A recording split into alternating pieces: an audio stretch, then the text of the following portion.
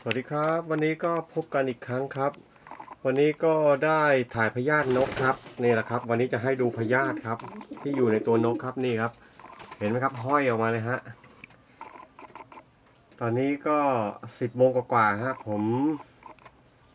ให้มันกินยาถ่ายพยาธิเนี่ยตั้งแต่ประมาณเจ็ดโมงกว่าๆฮะดูฮะพยาธิห้อยเลยฮะที่ตูดเนี่ยครับเนี่ย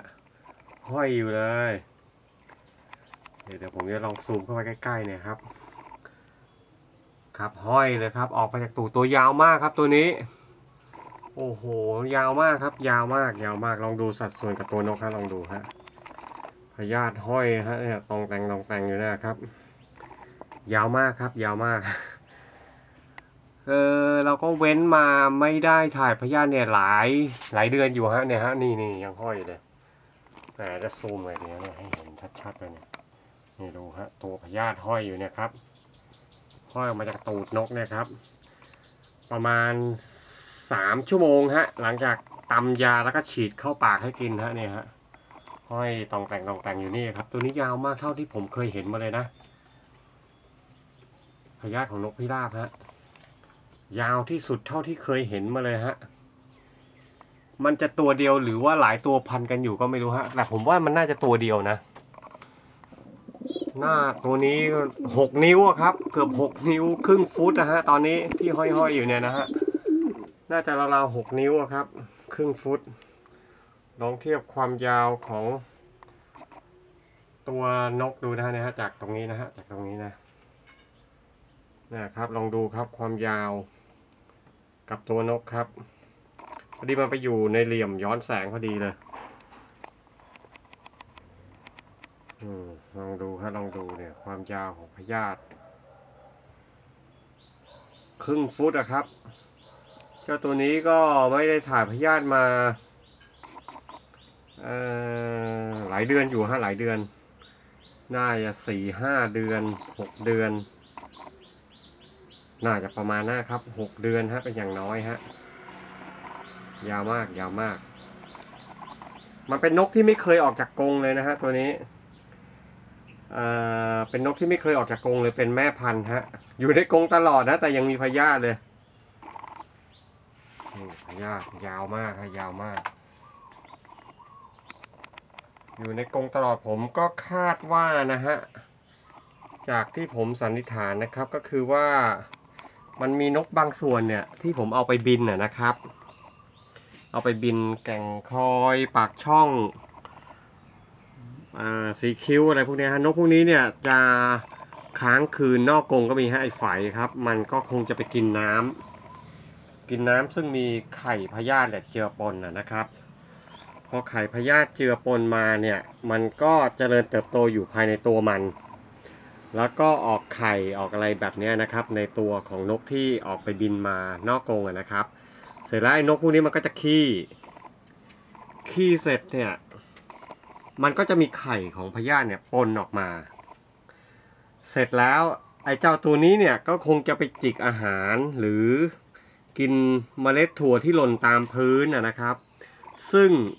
ปนเปื้อนหรือติด ติดกับไข่พยาธิแล้วก็กินเข้าไป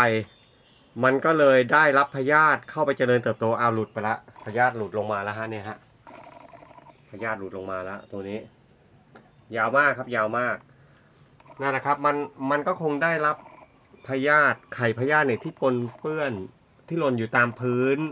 แล้วก็ถั่วหรือเม็ดอาหารเนี่ยที่มันตกอยู่ตามพื้นเนี่ยมันก็ไปกิ้งไปติดไปเปื้อนไข่ของพยาธิเข้าไปซึ่งอันเล็กๆนะฮะ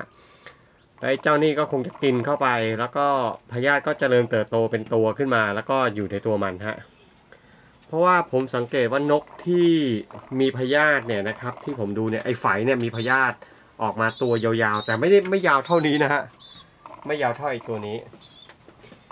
มีพยาธิตัวยาวๆประมาณ 1 นิ้วถึง 2 นิ้ว ไอ้ไฝเนี่ยออกมา 2 ตัวน่าจะได้ ผมดูจากมูลมันนะครับ มูลมันขี้มันอะซึ่งไอ้ไฝเนี่ยเป็นนกที่ไปบินนอกกรงแล้วก็ค้างคืนประจำฮะแล้วมันก็ไปกินน้ำมา ส่วนพี่หัวด่างก็เหมือนกันครับ ก็มีพยาธิออกมาครับ ซึ่งเมื่อกี้ไม่ได้ถ่ายไว้เขี่ยทิ้งไปซะก่อน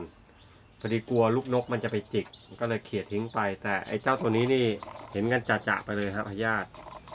สรุปก็คือนกนกพิราบเนี่ยมีพยาธิแน่นอนฮะแม้ว่าจะอยู่ในกรงตลอด แต่ว่าเนื่องจากมันมีบางตัวมันออกไปข้างนอกเนี่ยมันก็ไปจิกอาหารจิกอะไร ซึ่งปนเปื้อนไข่พยาธิกลับเข้ามาในกรงแล้วก็กลายเป็นติดต่อกันได้ครับ ดังนั้นก็มีความจำเป็นฮะการถ่ายพยาธินี่อของผมพอดีผมเว้นไปนานหน่อย เพราะว่านกผมไม่ได้แยกกรงตัวผู้ตัวเมียมันออกไข่ตลอดทีนี้ก็เลยไม่อยากจะ มันเหมือนมันป้อนลูกผมก็เลยไม่ได้ถ่ายพยาธิให้มันนะครับ แล้วก็ลืมต่อเนื่องลืมไปเลย วันนี้ก็เลยมาจัดการถ่ายพยาธิมาซับเพราะว่าผมกำลังจะต่อกรงใหม่ภายในบ้านฮะก็จะแยกละตัวผู้ตัวเมีย จะไม่เอาไว้รวมกันแบบนี้แล้วเนื่องจากว่านกจะโสมครับเพราะมันจะผสมพันธุ์ออกลูกตลอดเวลาเลย ก็กำลังจะต่อกรงม่อยู่หาช่างไม่ได้ทันทีช่างไม่ว่างฮะติดคิวตลอดช่าง เดี๋ยวเราเดี๋ยวเรามาดูตัวพยาธิกันนะครับ นี่เลยครับพยาธิครับ ก็มีอยู่หลายตัวนะฮะในก้อนนั้นนะครับ แต่มันก็มีตัวที่ยาวที่สุดเนี่ยครับอยู่ตัวหนึ่งฮะ ผมให้ดูความยาวนะครับเนี่ยครีมครับนี่ครีมครีมนี่นี่มือผมฮะนี่มือผมดูฮะนี่คือความยาวของพยาธิที่ออกมาจากแม่นกนะครับ แม่พันธุ์แม่นกพันธุ์ของผมฮะดูครับ ดูความยาวครับ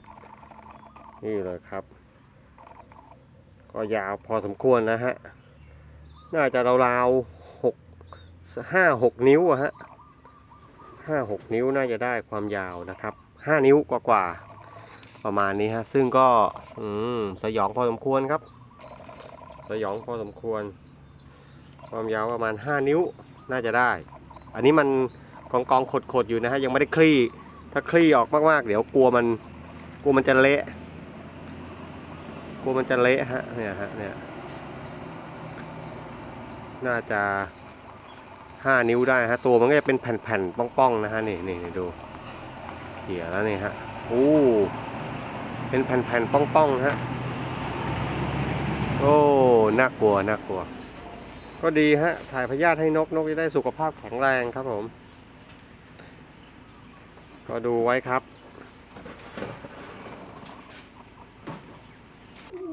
ไหนมีใครพยาธิยาวอีกมั่งตรงนั้นคงจะยังไม่ค่อยมีกัน มีเจ้าตัวนี้ยฮะพยาธิยาว แต่ว่ามันเป็นนกที่ตัวใหญ่แล้วอ้วนท้วนดีนะครับ เนื้อแน่นมากฮะเจ้าแม่มันเป็นแม่ของไอ้บุญรอดไอ้แม่ของไอ้พี่หัวด่างฮะที่มีพยาธิยาวๆเนี่ยนะฮะจริงๆมันแข็งแรงมากนะครับ ตัวใหญ่เนื้อแน่นมากฮะตัวนี้ แต่ก็ยังมีพยาธิทีนี้พอถ่ายพยาธิไปมันคงจะสุขภาพแข็งแรงขึ้นกว่าเดิมอีกนะฮะเนี่ยถ้างเงี้ยดูกันอีกทีครับเนี่ยครับพยาธิครับนี่นี่มือผมครับ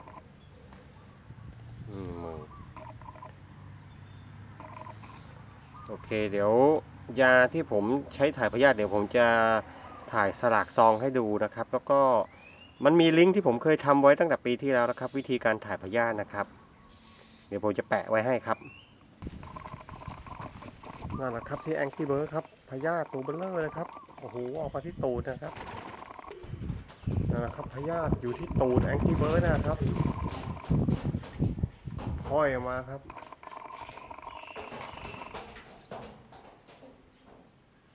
นั่นนะครับ ที่ตูด Angry Bird นะครับ ที่ตูด Angry Bird ครับพยาธิห้อยออกมาเลยครับพยาธิห้อยออกมาเลยเนี่ยฮะเนี่ยดูเลยครับ ยาวเลยนะโอ้ยน่ากลัวครับดูเลยครับพยาธิห้อยออกมาครับพยาธิเมื่อเช้าให้ยาถ่ายพยาธิไว้ฮะ ตอนนี้ผ่านไปสามสี่ชั่วโมงครับ อือหือดูเลยครับดูนะครับ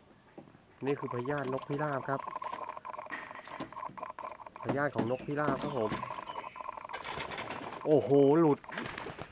หลุดแล้วครับ นี่คือพยาธิของนกพิราบครับผม โอ้โหตัวนี้ยาวมากครับ ยาว ยาวมากครับ ยาวเลยครับดูสิครับ ให้ยาถ่ายไว้เมื่อเช้าครับ โอ้โห นั่นแหละครับดูครับดูความยาวของมันครับพยาธิจากนกพิราบครับ ดูแล้วมันมีอยู่ด้วยกันหลายเส้นนะฮะหลายเส้นออกมาพร้อมกันเลยฮะอืมตัวใหญ่ฮะตัวใหญ่ที่สุดแล้วฮะที่สุดเลยอันนี้ที่สุดละ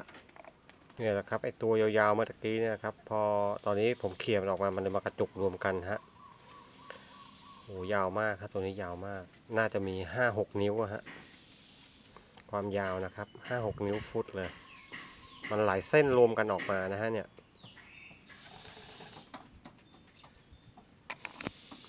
ความยาวนี่ไม่ต้องห่วงฮะนี่มันหดขดกันอยู่นะฮะนี่ดูนิ้วผมฮะนี่เอาลงไปใกล้ๆระดับเดียวกันเลย นี่คือพยาธิจากนกพิราบนะครับแองกี้เบิร์ดนี่ไม่ได้